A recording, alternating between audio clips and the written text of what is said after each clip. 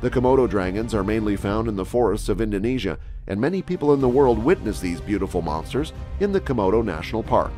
The Komodo National Park has a population of more than 4,000 Komodo dragons. Now that's a lot by the metrics and the size of the land they live in. The Komodo National Park also comprises many volcanic islands. Also, it provides a perfect living condition for the dragons, as the Komodo dragons are habituated to living in hot and humid conditions. While Indonesia is the place where most of the Komodo dragons live, these beautiful reptiles were born and originated in Australia,